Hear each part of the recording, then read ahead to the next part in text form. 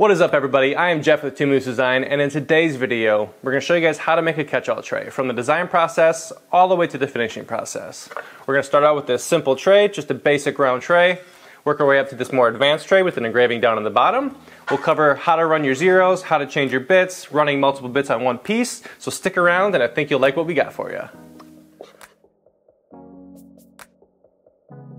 So most of our trays are made from scraps. We have a ton of cutoffs from our Etsy business and there's no sense of wasting them. So I just glue them together to get my blanks. Our trays typically range from six to 10 inches.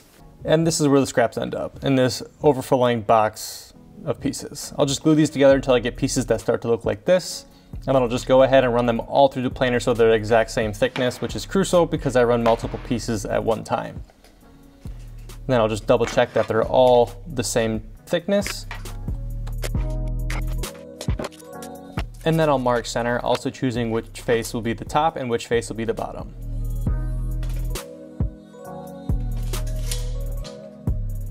And this is my preferred hold down method. You can do whatever you like. Double-sided tape works just fine too, but this is just as quick and easy.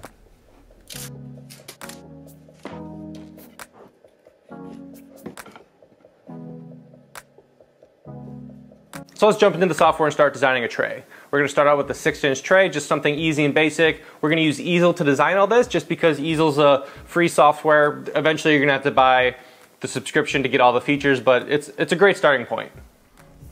All right, so in Easel, so we're gonna make a couple extra files here because we're gonna need a few file windows to make this. So we're just gonna do a basic circle. Let's do a six inch, oh, right here, six inch circle. So this will create the cavity. Then we're gonna go over here into apps, select offsetter, and then the offsetter just makes a copy of whatever the shape you selected is and makes the same thing further out. So we're gonna do 0.45. Okay, import. Delete the first one. So I'm gonna go here, clear out pocket, and then I like to do a depth, a depth of about 0.4. So I like to run my zero in the center of the piece, and in order to do that in easel, you go over here, zero, zero. So now we're gonna use a quarter inch bit to cut out the outside shape. Make sure you set your tray depth here. My tray depth, my wood, my thickness is 0.8. Select the outer ring, put that all the way down. I will not run tabs. If you're new, I recommend running tabs. So let's Command X this to cavity, Command X to cut, Command V paste, 0.4 depth, and then we're gonna use, and then we're gonna use a three quarter inch dish bit. We'll show you that a bit later, but you go to here under end mills and just enter 0.75. So these are the cut settings I'm gonna run it at. I do not recommend running these on the X-Carve. These are for a Onefinity machine. Okay. So files are good to go. Now we're going to export these to the Onefinity. Don't worry about any of this right now. We'll show you this later. Generate code, export code, and then do the same thing here. And then we're going to upload this into the Onefinity post processor. And this is just a quick lapse of me uploading the files into the Onefinity post processor. So the last bit I used was an eighth inch downcut and this bit is much smaller than the bit I'm gonna use first to start the engraving. So I'm just gonna use that bit to line up the zero. So all I gotta do is lower it down and set the Z zero. And I just simply set it down slowly until it just barely scratches the surface. Once all your zeros are set, go ahead and push play.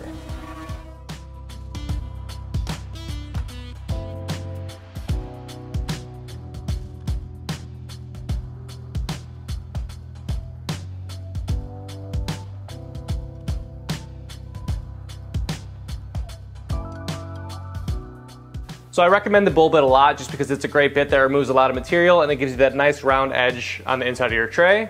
But a lot of people don't like the grooves that it leaves because it requires a bunch of sanding to remove those grooves. So we're gonna dive back into the software and show you guys how we're gonna solve that problem. So let's go up to the cut settings and we're gonna take the feed rate and double it. You could probably even go faster than this if your machine allows it. And then we're gonna move the depth all the way down to the final cut depth plus a little more. And then standard step over is 40, I believe. Under 10 will probably be fine. You can play with these settings later. So we're gonna go in here.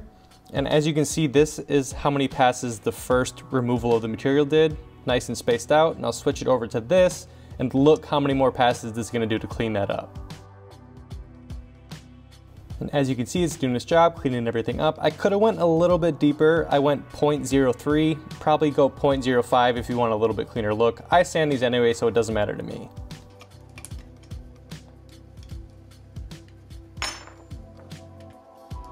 So now we're gonna move on to cutting out the tray. We're just gonna use a quarter inch down cut to achieve this. And I just raise the slider, change the bit, and then I'll move it over to the nearest edge to get my Z depth. You're gonna leave the X and the Y zero they're exactly the same. If you're using easel, you can use last zero and then just reset your Z with the probe. But here, I just simply reset my Z and then push play.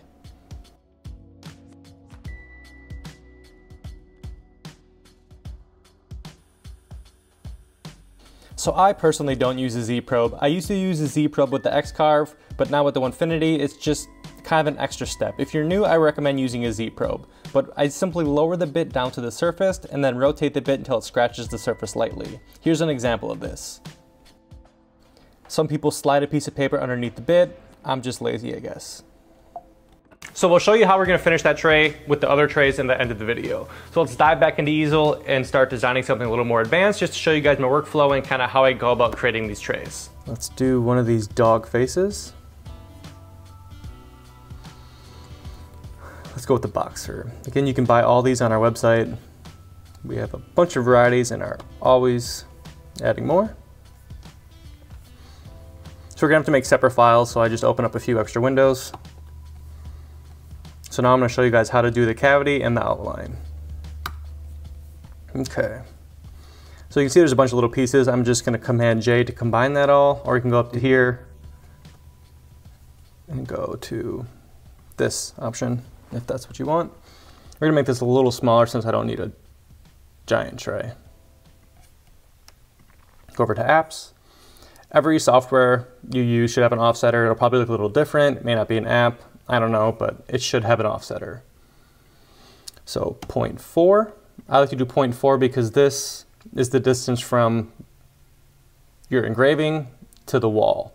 And if you have a big old giant 90 degree V-bit, it may hit this wall, so you may need to do more than that. I have a slender bit, so 0.4 is plenty for me. Imports all this crap. All we need is this outline, so go back to over to apps. Over to offsetter. For the outside, I like about 0.48. Okay. Get rid of all this crap. So we're just gonna come, oop, we're just gonna line these up so they're nice and even. So this inside line is your cavity, clear out pocket. This outside line is your where your shape's gonna be cut out. So you can either cut outside the line if you want a little more room. On shape path should be fine. So now I like to set my my zero to the center of the center of the piece. And to do this in easel, you go to the here, make sure that's in the center. Zero, zero, now let's dissect this a little bit so that we can make our three files. Command X to remove. So Command V to paste.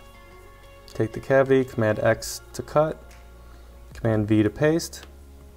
Okay, so for the cavity, I like to go about 0.4 deep. That's just my preference. Do whatever you want. So we're gonna use a 3 quarter inch straight bit end mill you have to do other for this. And these are my cut settings on the Onefinity. If you have a different machine, do not run these because your machine may not be able to handle them. Make sure your plunge rate is slow or you can ramp in just because it's such a large bit. Okay, so for the outside of the cut, or for cutting the outline, I like to use a quarter inch down cut. Cut settings, For the Onefinity, these will not work very well on an X-Carve. Okay, so onto the engraving of the face. I like to use a 90 degree V-bit. That is what I use 90% of the time. So when you're cutting your, so when engraving your design in the bottom of the tray, you want to find a nice happy medium. You don't want it too deep to where it's going to take forever and look all weird.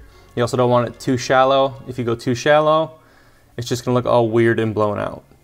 So for me, a happy medium is between 0.1 and 0.12. That's what works for me. Gives it nice detail and doesn't take forever. So let's put this back. So another thing to mention here is your safety height. Your safety height is super important. I don't feel this tray is an issue, but I know the lab is an issue. Where's the lab? Okay. So, yeah. Okay. So if you don't set your safety height, which is how high the bit goes up and moves to go to another area, if you don't set this correctly, your bit's just going to come along, come along, and smash through here. This isn't an issue in all files, but this one I know it is. Along with the Frenchie, the Frenchie also gets the forehead cut off. So let's simulate this just to show you. So this will show you the path where the bit's gonna go. So as you can see here, the bit's gonna come, cut, cut, cut, go straight across here, clipping this entire part of the tray off, and you're not gonna be too happy. So to change that, we go in Machine, advanced, safety height. So our tray depth, remember, is 0.4. So our tray is 0.4 deep, so the bit needs to go up high enough to clear this so it doesn't ram in there anything. So back over here, machine advanced. So 0.5. So our bit's gonna move up a half an inch before it moves to a new area of the tray. So here we go. So here now it shows you how high the bit's gonna go. It's gonna move up a half inch, move over, then come down. So when getting to this area here, it's gonna go up, clear this part that sticks out, and then come back down and do its engraving, move up, and so on. So I typically cut multiple trays at a time. It's just easier for me to juggle several trays than just babysitting it and watching one tray. So here's a good example of the safety height and how it clears the tray and doesn't ram into any of the walls.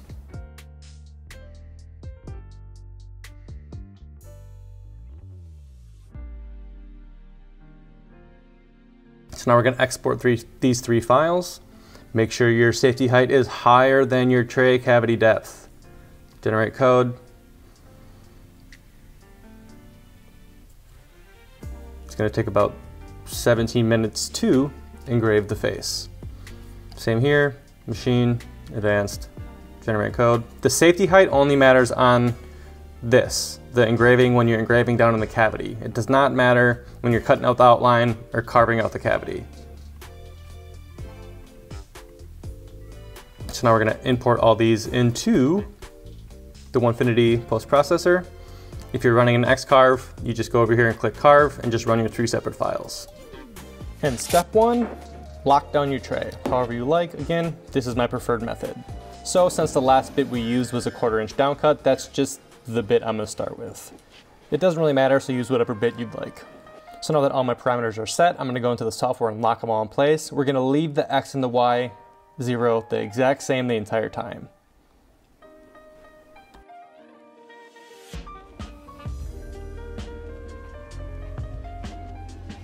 The machine finished cutting the outside of his tray. So now we're gonna put in this giant three quarter inch straight bit and that'll remove all the material for the cavity relatively quick. Lower the bit down to the surface, X and Y axis are the same, lightly scratch the surface, and then we're gonna hop into the software, just set the Z zero, leaving these two alone, and then changing our file and pushing play.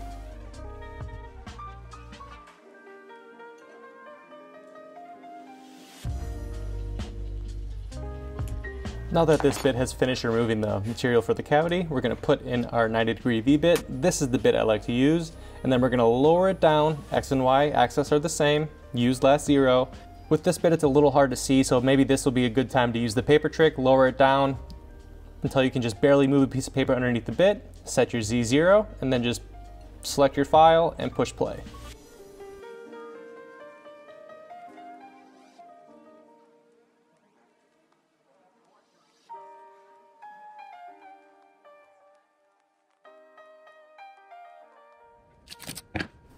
And voila, a beautiful boxer tray. So now that all of our trays are complete, let's dive into the finishing process. Overall, the finishing process is pretty simple. I don't spend a ton of time sanding these, maybe two or three minutes per tray, and that's it. Some wood species are prone to fuzzies. Fuzzies happen, buy one of these little bitty brushes, you can buy a kit for pretty cheap, and then just scrape it out. Probably one of my most asked questions, but Jeff, how do you sand down in the cavities? My sander don't fit. One of these multi-tools with a triangle head work wonders. I believe this is 220 or 320 grit, and that's literally all I do. Clean out the mill marks, and then take a regular sander. I'll sand the inside if I can with 220, clean the outsides with 180, and uh, we are ready for finish. So my preferred finish is walrus oil furniture finish. It's a quick and easy to use. It's 100% vegan and all that good stuff. I just saturate the trays. I'll get them real nice and wet like, and then let them sit overnight and then wipe off the excess in the morning. And these are good to go. Food safe, gives it nice rich color, and it's easy to do. I should just make a little dunk tank for these, but one day.